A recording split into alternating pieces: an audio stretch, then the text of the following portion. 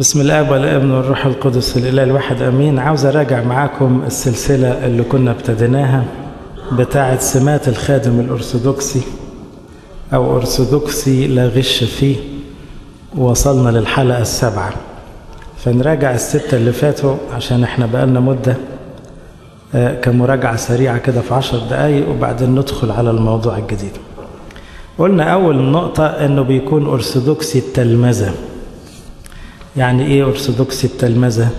يعني مش بيتلمذ على إلا على مصادر موثوق فيها كنيسة موافقة عليها. عارفا ممن تعلمت. الحاجة الثانية إنه يتسم بتلمذة دائمة. ما بيحسش ابدا إنه بقى معلم وبقى واصل وبقى عارف لا. يفضل لآخر حياته يتعلم. إنه مستعد يقبل التوبيخ أو الإرشاد بسهولة. يميل للطاعة والخضوع. ما عندوش حتة أنا فاهم أنا عارف أنا قريت.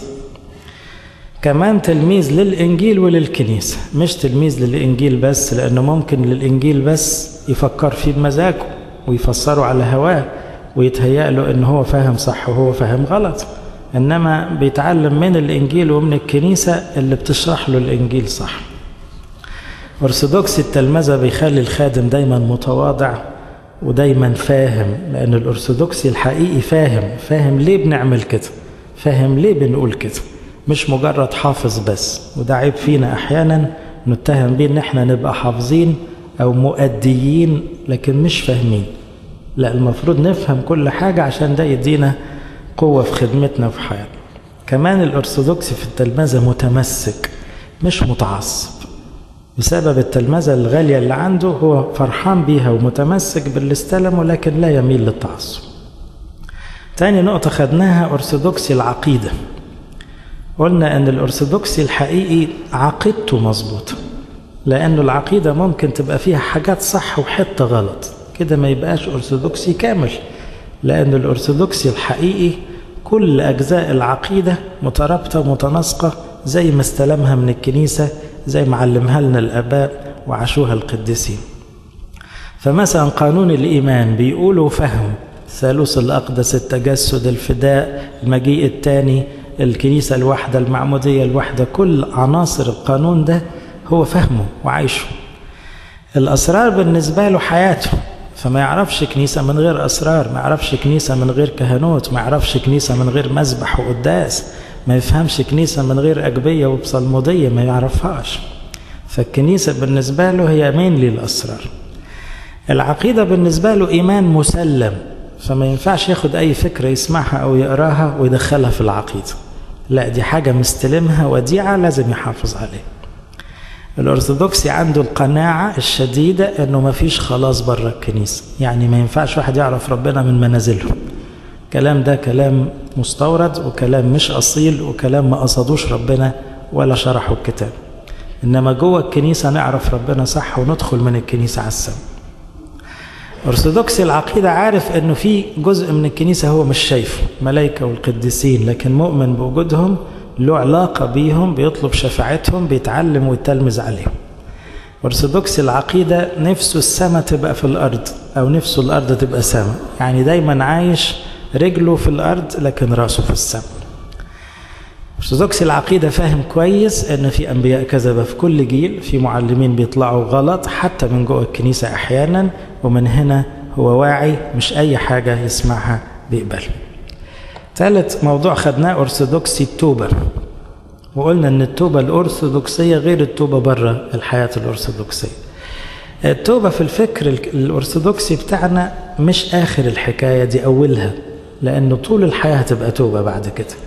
فالتوبة هي أول خطوة في الطريق لله وهي الخطوة المستمرة لكن ما فيش حاجة عندنا اسمها واحد تاب يبقى خلصت القصة كده. لا ده لازم هيفضل يتوب طول العمر.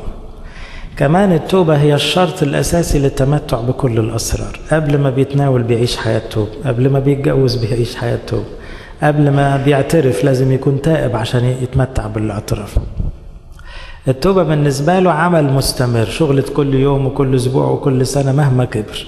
بيراجع نفسه بيجهز نفسه للقاء العريس فإيه عمره ما بيقول أنا بقيت غني ومستغني. التوبة بتخليه يزداد تدقيق كل شوية بيزداد جهاد فبقى إيه ضميره كل شوية بيتهذب أكتر. كان زمان يفوت الكلام البطال والنظرات والأفكار دلوقتي لأ. كل كلمة كل فكرة ابتدى يدقق فيها لأن التوبة بترفعه فبتعلى بالمستوى الروحي بتاعه.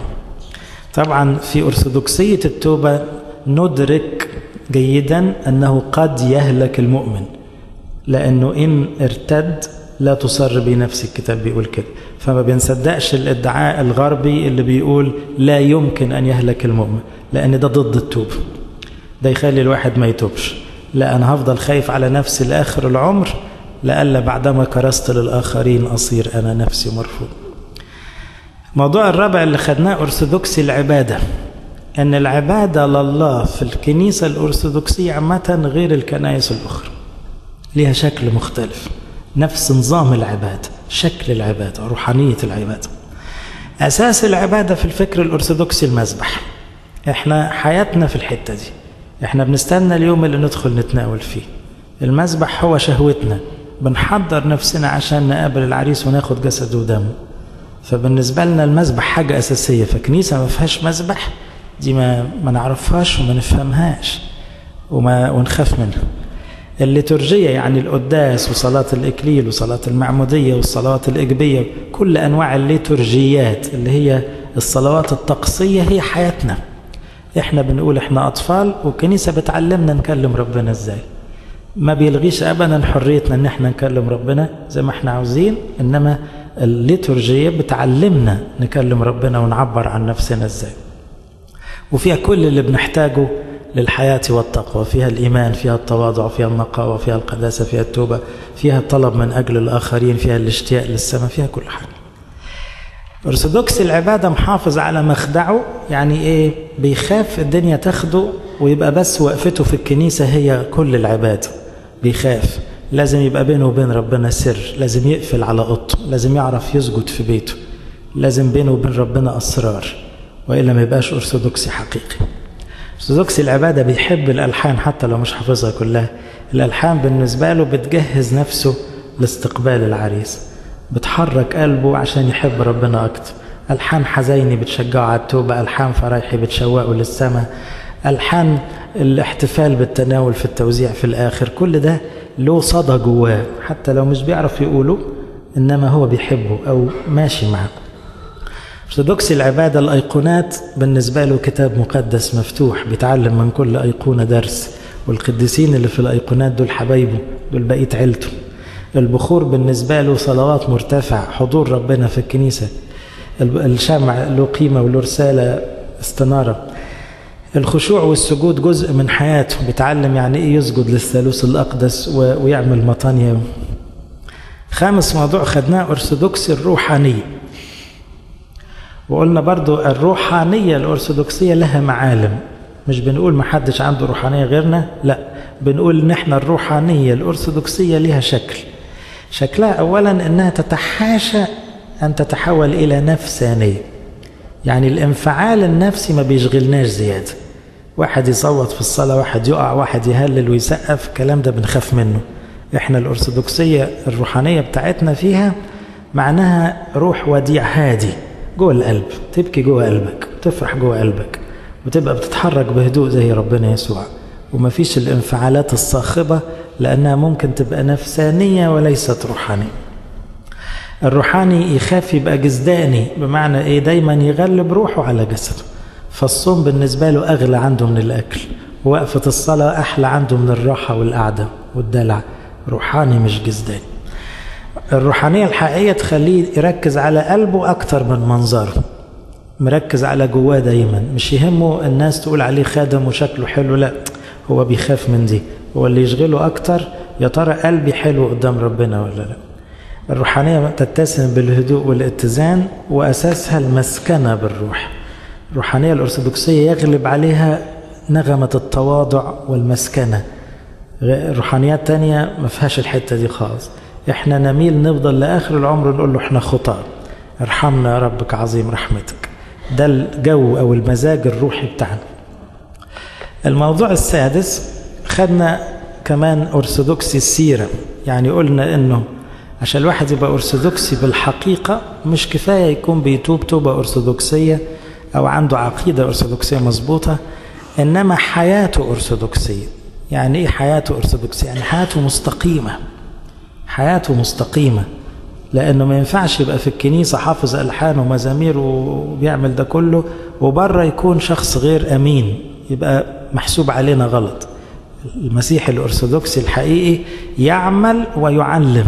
يعمل وصية ربنا قبل ما يقولها ينفذ قبل ما يوعظ. ومن ثماره تعرف يعني إيه بيجاهد عشان يقتني الثمر الروحي محبة وفرح وسلام وطول أناة وإيمان وداعة وتعفف. الروحانية السيرة الأرثوذكسية بيحاول يفكر زي ما المسيح بيفكر.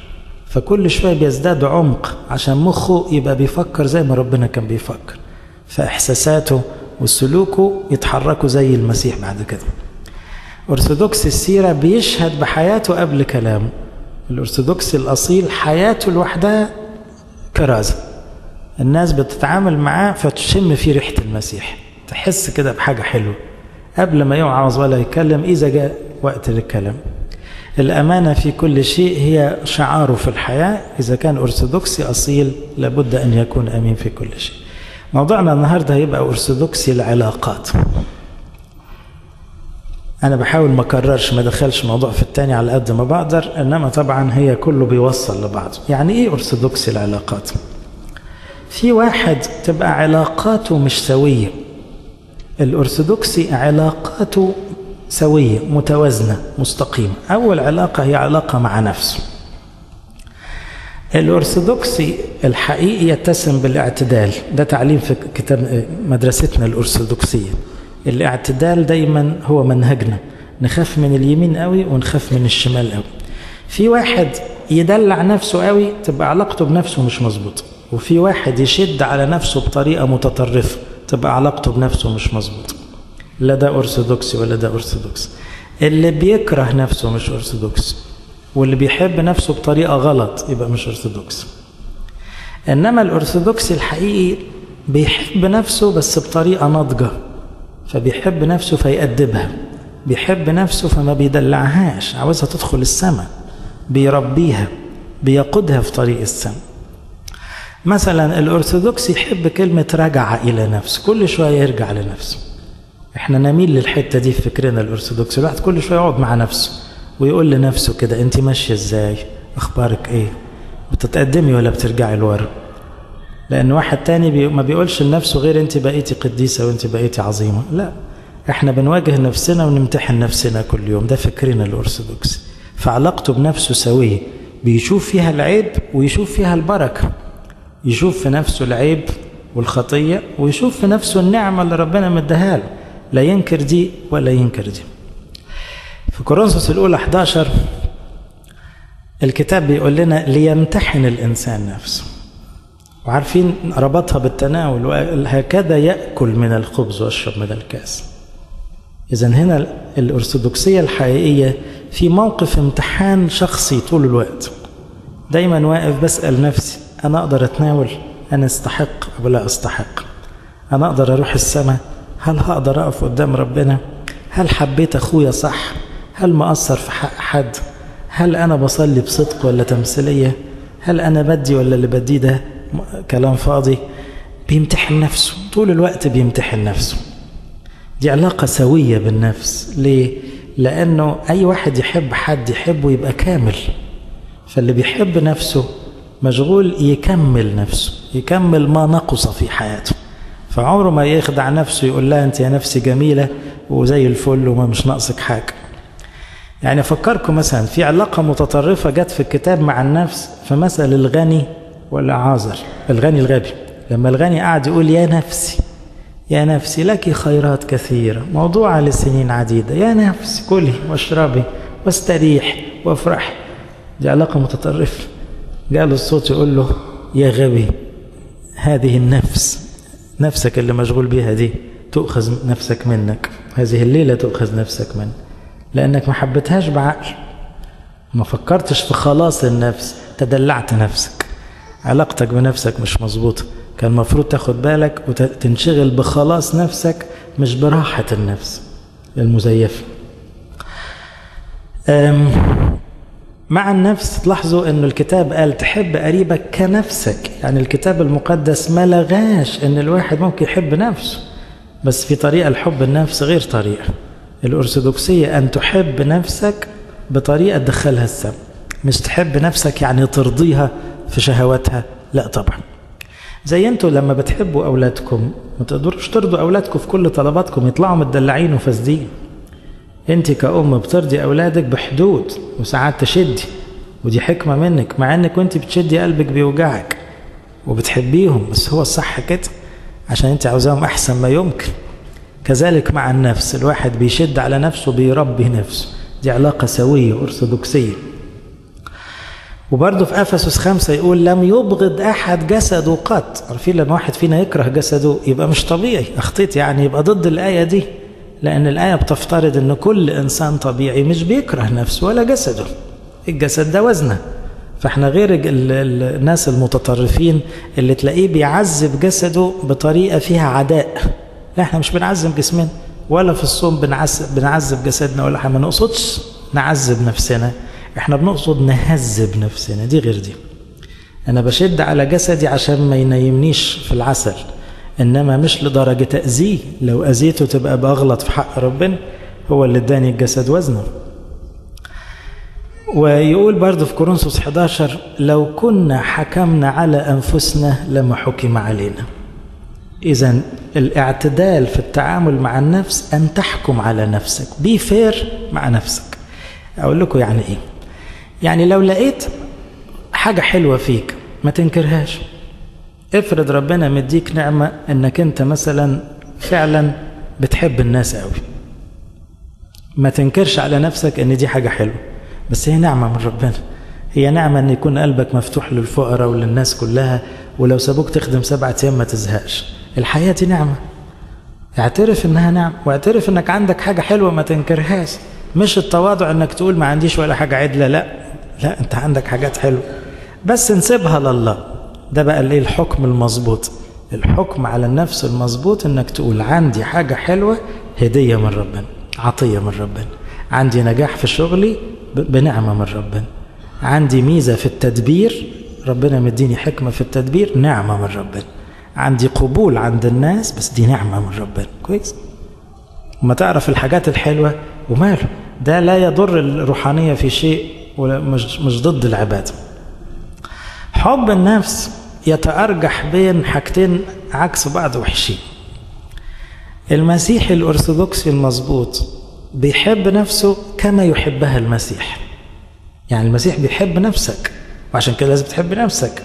بس ربنا يسوع بيحب نفسك يقوم يشد ويرخي يشد عليك شوية عشان تتعدل ويرخي ويطبطب عشان تفرح بمحبته. فأنت بتعمل زي ما ربنا بيعمل معاك. في نفسك. تشد عليها شوية وتعزيها وتطبطب عليها وتقول لها لماذا أنت حزينة يا نفسي؟ تحن على نفسك شوي. ترجي الرب لأني بعد أحمده هو خلاص. فالواحد يحب نفسه باعتدال. لا يقع في صغر نفس ولا يقع في كبر نفس. يعني دايما الواحد ماشي زي اللي ماشي على الحبل كده. لأنه على اليمين, على اليمين مثلا في كبر نفس وعلى الشمال في صغر نفس. يعني إيه؟ في واحد شايف نفسه أصغر من كل الناس لدرجة أنه ابتدى يكره نفسه. دي مش فضيلة دي رذيلة دي حاجة مخيفة مؤذية جدا دي ممكن توقعه في يأس واليأس يضيعه خالص. وفي واحد حاسس أنه أكبر من كل الناس دي حاجة تخوف حاجة وحشة جدا لأنه مش هيعرف يتوب هيفضل يقارن بالناس وممكن يحس أنه أحسن منهم ويضيع. وعلى فكرة أغلب الناس تتأرجح من ده لده فاهمين إزاي؟ إنما الاعتدال فين؟ في النص فاهمنا؟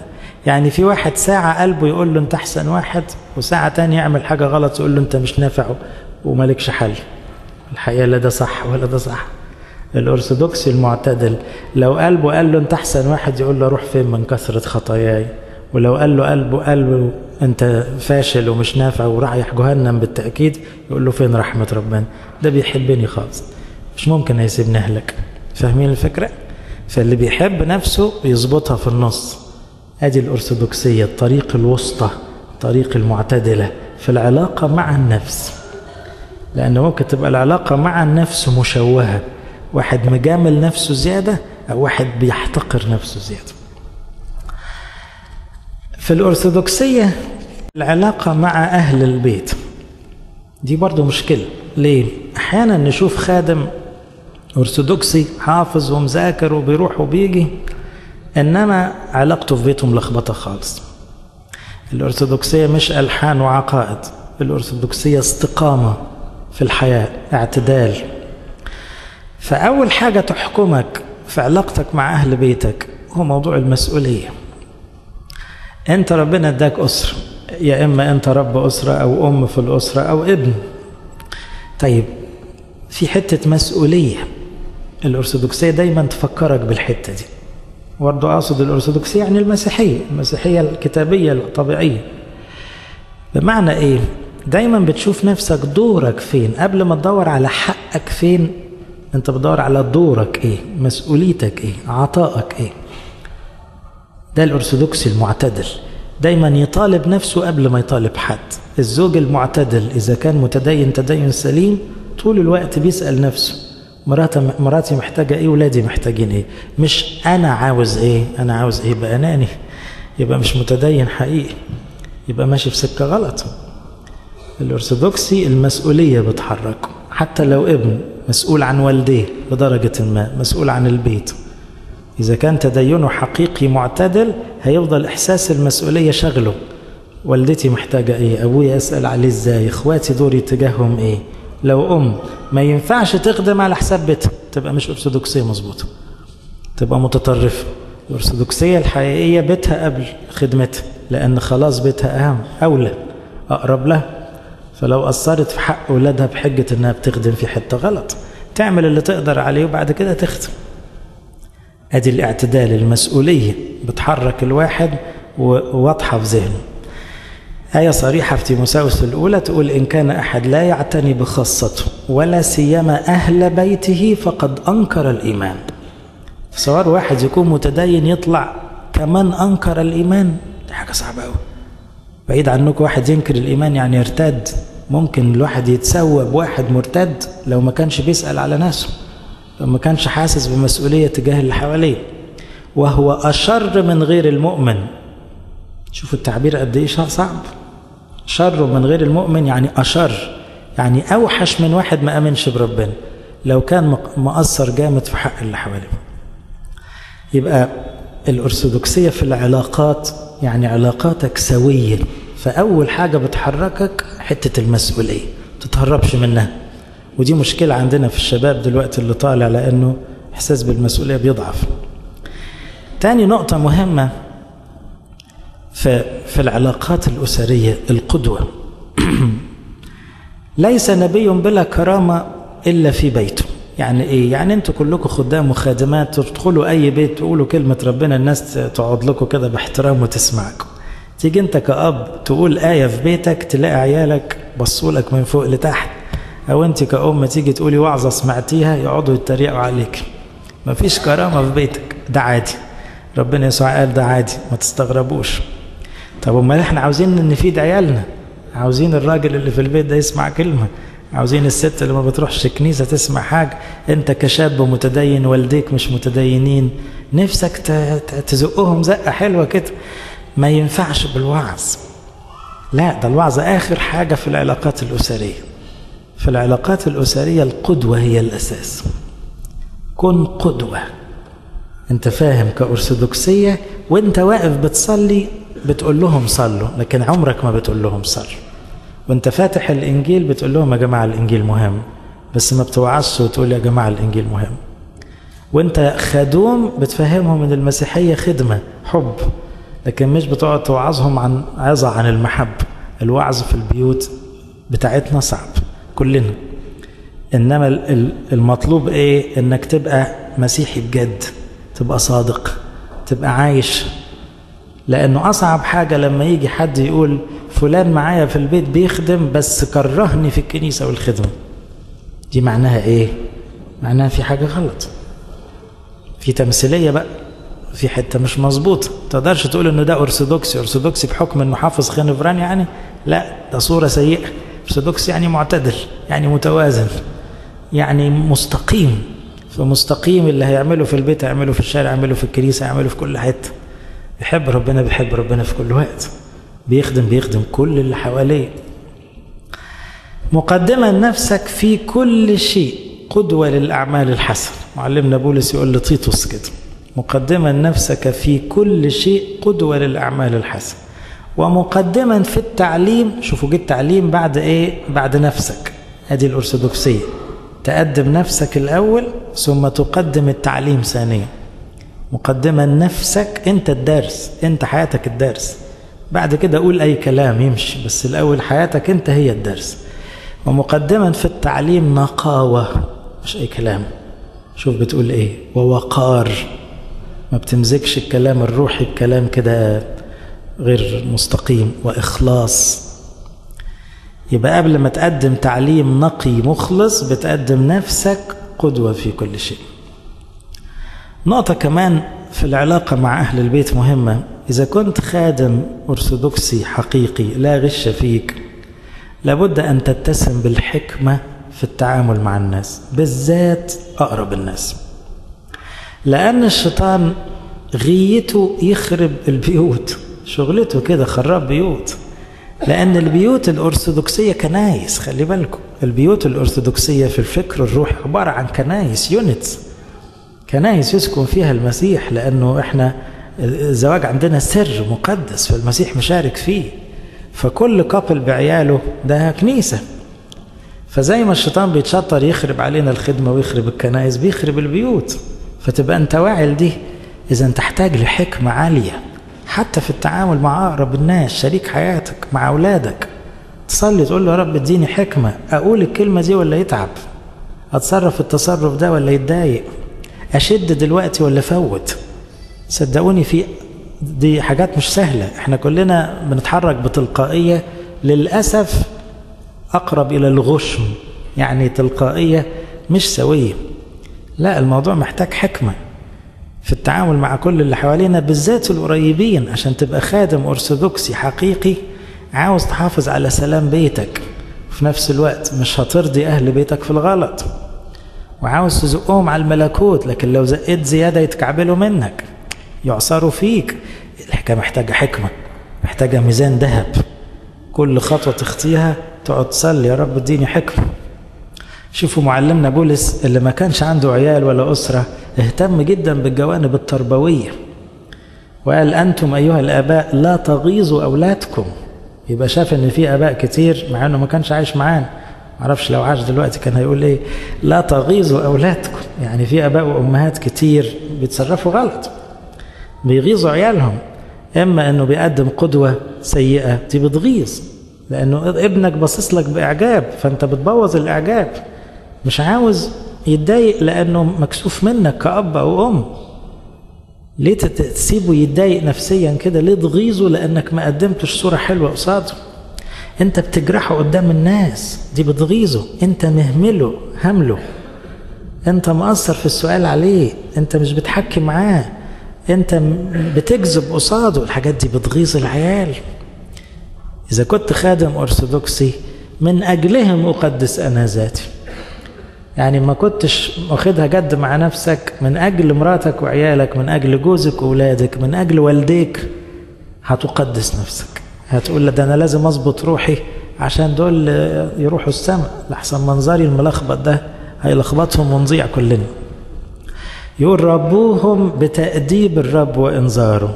تأديب الرب وإنذاره يعني ربنا ينذر ويأدب. اعمل كده. اتفق مع أولادك الأول. يا أولاد اللي هيعمل كده هياخد البانشمنت ده. ده إنذار. لكن تعاقب من غير إنذار تبقى ما بتعملش اللي ربنا بيعمله. ربنا الحقيقة فير.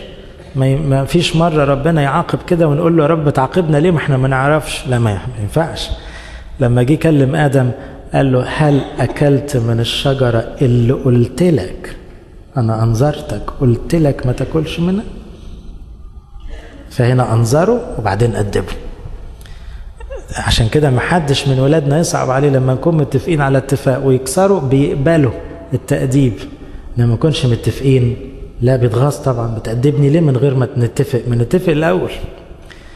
فدي قواعد تربوية بناخدها من ربنا اللي بيربينا. وبعدين تأديب الرب يمشي إزاي؟ تلاقي ربنا طيب جدا إنما ده مش معناه إنه يفوت للغلط ما بيفوتش للغلط. مرات ينزل مرات يعاتب مرات يشد شدة صغيرة مرات يشد شدة كبيرة. اتعلم اتعلم من ربنا. تلاقي نفسك تبقى أب حلو وأم حلوة. تربي ولادها حلو تمشي بيتك حلو. آه بند ثالث في أرثوذكسية العلاقات. العلاقات مع الدائرة اللي أوسع الأقارب والمعارف والأحباء والأصدقاء وال... الأول إحنا خدنا الدائرة الشخصية علاقتك مع نفسك بتحبها بطريقة تدخلها السما علاقتك مع أهلك بتحبهم بطريقة كلها حكمة وقدوة مسؤولية عشان يدخلوا هم كمان السما الأرثوذكسي يتعامل مع كل من حوله أولا بوصية المحبة. المحبة بتحركه. ما فيش قول ده دمه خفيف وده دمه تقيل وده بيسأل عليا ده ما بيسألش. بيتحرك بقانون وناموس المحبة الناموس الكامل اللي قال عنه معلمنا يعقوب الناموس الكامل اللي هي أهم كلمة فيه المحبة. فبيسأل على الكل بيخدم الكل بيحترم الكل. أهل الزوج أهل الزوجة قرايب حلوين قرايب فقراء قرايب أغنياء. هو بالنسبة للكل شخص محب. ده الأرثوذكسي الأصيل. بالنسبة للكل هو شخص خدوم. محبة هي شعاره الأولاني. حتة بقى يميز ده عن ده أصل دول ناس راقيين شوية دول ناس إيه هو الكلام ده؟ ربنا يسوع ما كانش يعني غني ولا كان في نظر الناس مثقف قوي إنما هو ده رب الكل. لا تكونوا مديونين لأحد بشيء إلا بأن يحب بعضكم بعضا الأرثوذكسي ما يمدش إيده ويتداين ويغرق روحه ويضطر يكذب عشان يخبي الدين. ويدخل في شركة مع حد ويمسك في خناقه بعدين. لا أهم حاجة عنده نفضل نحب بعض. ما يدينش نفسه. هو يدين الكل بالمحبة يعني يقدم محبة ومش مستني حد يرد. لكن هو مش مديون بحاجة.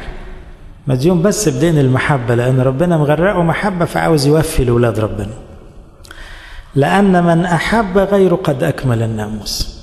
عاوزة مراجعة دي. إذا كنا خدام أرثوذكس علينا واجب محبة تجاه ناس كتير ممكن نكون مقصرين في حقه. تاني نقطة مهمة وهو بيتعامل مع الكل مش معلم معلم لا هو تلميذ متعلم. يعني إيه؟ برضو إحنا كخدام أحيانا قرايبنا واصحابنا يعرفوا إن إحنا خدام. فلما يقعدوا معاك في قعدة يعني لا مؤاخذة في التعبير تفرد عليهم بقى شوية. يعني ما انت بقى محضر لك كام درس وقلت كام كلمة حلوة. ففي أي قعدة تبقى عاوز إيه؟ يعني تحسسهم أنا خادم وبفهم. لا بس دول قرايب دول أصحاب.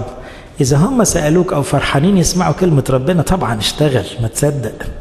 إنما حاسب يكون بيحركك إحساس العظمة أو الافتخار أو السوبريوريتي يعني. لا لا أنت خدام للكل. خليهم يقولوا عليك خدوم مش واعظ. خليهم يقولوا عليك خدوم مش معلم. المعلم الواحد هو ربنا يسوع. فحاسب من دي وسط الأصحاب والأصدقاء. إن قدرت بحكمة تحط اسم ربنا وكلمة ربنا تبقى شاطر. إنما لو الناس مش مستعدة ما تفرضش عليها شخصيتك وكلامك وتأزمهم كده ويبقوا مستتقلين القعدة معاك لا دي الحكمة. خليك تلميذ لأنه ممكن يكون الناس أقل مننا معرفة بس فيهم فضائل أكتر مننا. في عائلاتنا في علاقاتنا في جيراننا في أصحابنا في ناس ما يعرفوش اللي إحنا نعرفه بس قلبهم أحلى مننا. لو أنت تلميذ هتبقى قاعد في كل قعدة عائلية ولا أصحاب ولا بتاع عينك بتلقط الدرس. الراجل الكبير ده صحيح مش متدين قوي زينا بس مليان حكم لأنه جواه خوف ربنا. الست الطيبة دي قلبها أبيض قوي. ما بتشوفش الغلط في حد أبدا مع إنها يمكن ما تعرفش آيتين على بعض. طب ما كويس خليك تلميذ ما تبقاش قاعد في القعدة عاوز بس تقول لهم ربنا بيقول. لا بالراحة شوي لا تكونوا معلمين كثيرين يا إخواتي عالمين أننا نأخذ دينونة أعظم. كمننا إحنا عارفين هناخد دينونة أكتر ربنا يرحمه. أرجع تاني وأقول الحكمة في التعامل. الحكمة بيحركها قاعدة. عاوز توصل كل الناس للسلام ومحدش هيوصل للسماء إلا عن طريق الحب والسلام. فإن كان ممكنا حسب طاقتكم سألموا جميع الناس. في واحد في العيلة صعب صعب صعب. على قد ما تقدر. احتفظ بسلامك معاه. مهما كانت صعوبته على قد ما تقدر. اسعى اجتهد. قدم محبة ولو من بعيد. طب صلي. طول بالك عليه. إنما حاول ما تخسروش ما تخسروش. عشان تقدر تبقى خادم حلو قدام ربنا. إن كان ممكنا حسب طاقتكم. هي دي كلها حكمة. ممكنا وطاقتكم دي حكمة في الحب. لأنه في ناس صعب تتحب بالطريقة الطبيعية يعني أسلوبها صعب. طب وماله؟ وماله ربنا حاططهم في حياتنا عشان يعلمنا الصبر. عشان يعلمنا الحكمه عشان. نتعب شوية فيبقى الحب كده طالع مصلوب. تاني براجع وأقول إيه إحنا بنتكلم عن خادم أرثوذكسي في علاقاته.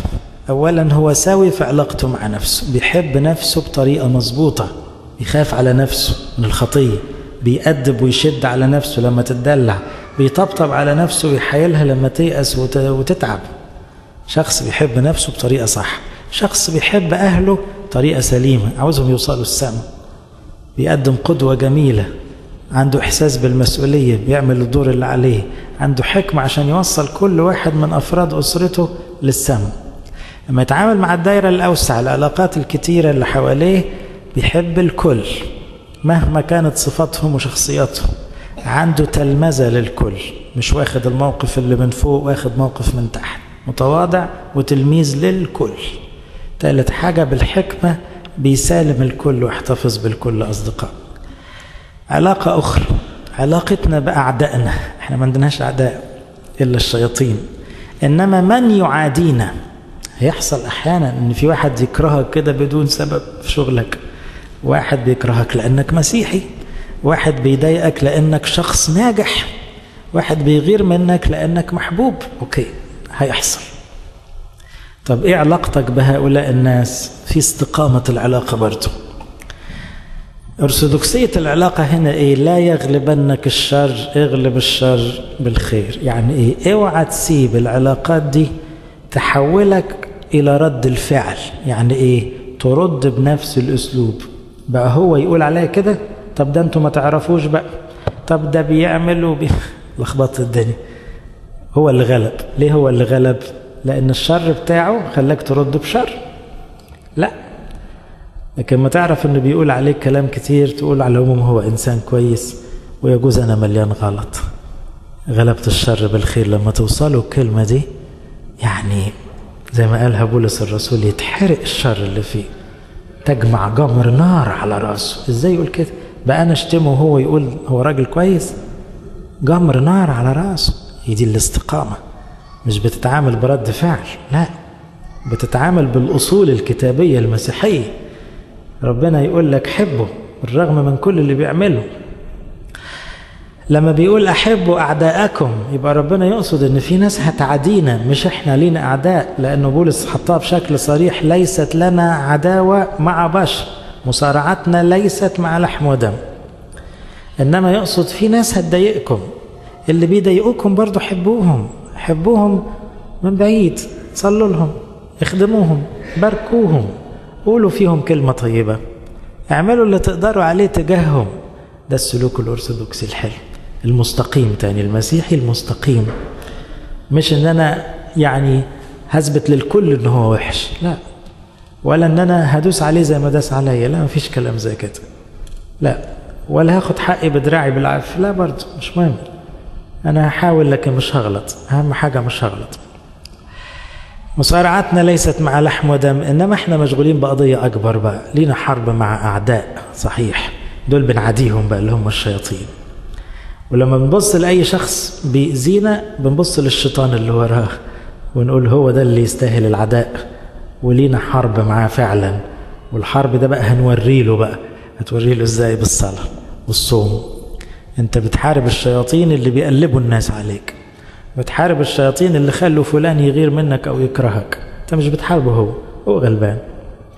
ده الفكر الأرثوذكسي المظبوط اللي يخليك تفضل بتحبه لأنه غلبان في ذاته.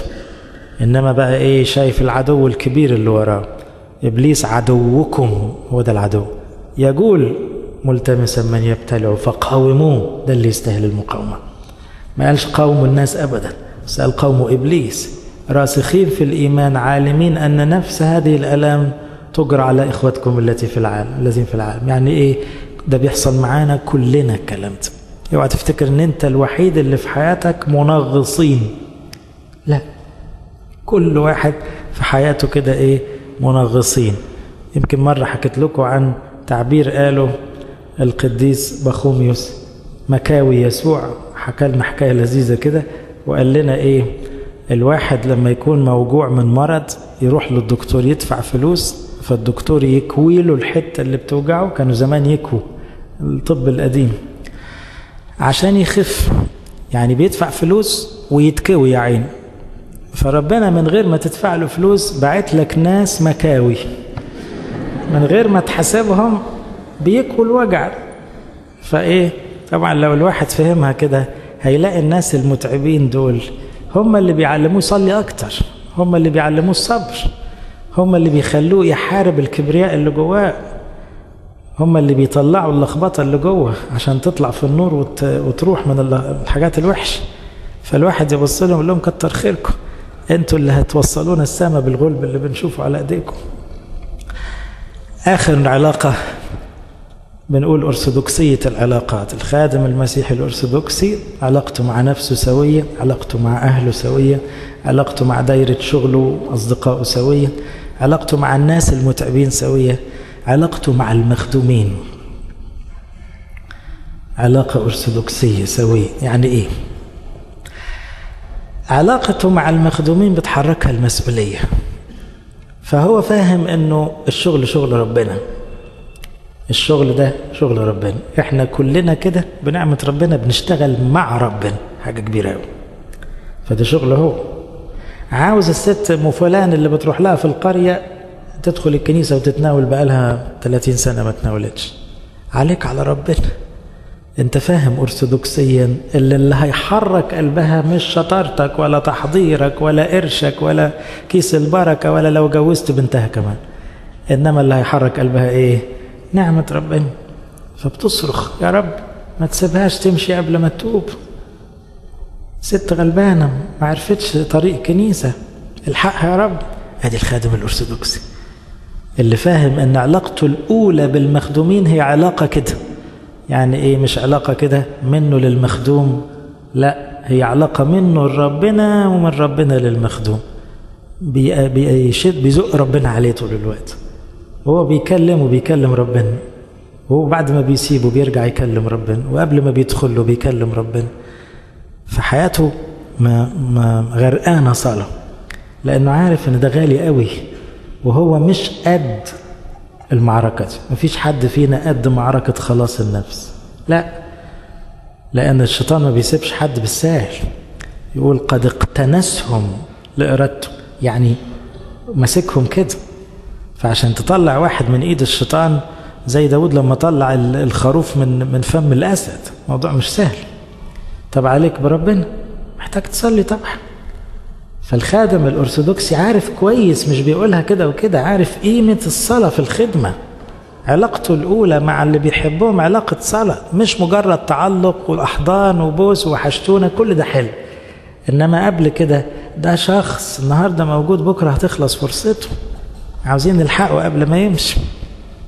عشان كده يقول الكتاب مصلين بكل صلاة وطلبة كل وقت في الروح. وساهرين لهذا بعينه. كلمة بكتنا كم واحد بيسهر عشان يقول أسماء اللي بيخدمهم قدام ربنا. بكل مواظبة وطلبة لأجل جميع القديسين. على فكرة كان كل شعب الكنيسة اسمه قديسين. يعني أحد ألقاب. لأنهم تقدسوا بالروح القدس.